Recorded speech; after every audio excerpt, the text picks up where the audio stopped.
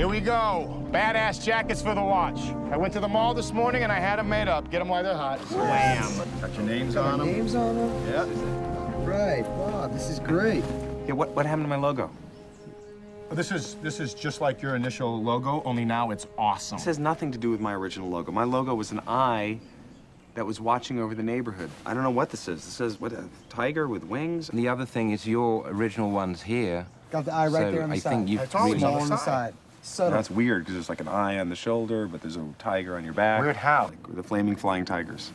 It makes no sense. This is inspiring for the watch. Whenever you have a tiger, flames, and wings, all in the same logo. It's like the Chinese symbol for shut the fuck up and dance. This is inspiring for the watch. I don't know. What are we in a doo-wop group? I would see this doo-wop group. Okay, for your information, doo-wop groups were known to close ass. Singing was their hobby. Closing ass was their job. The baritone from Boyz II Men had to stop making music because he got so much pussy. Thank you. They're like ass collectors. Can I just say, Bob, that these are the shits.